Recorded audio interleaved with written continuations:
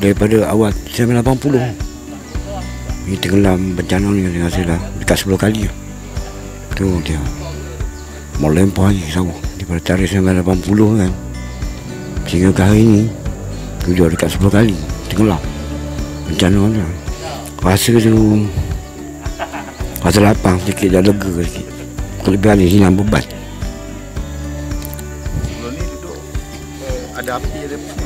Ada. Tapi lah buat tak ada nak buat apa. Terpaksa kena lari kan berpindah-pindah. Semua yang mana yang kena kawasan bencana berpindah-pindah duduk sekolah sikit. Datuk Mahmud ni. Kerja lepas ni tak kena banjir lah. Air dah tempat rumah tinggi ni. Saya tak tahu nak kata. Pasal benda ni alam ni.